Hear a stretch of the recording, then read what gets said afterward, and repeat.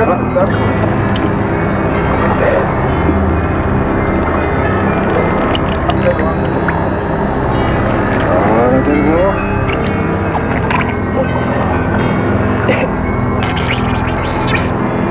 vamos con un motor ahora.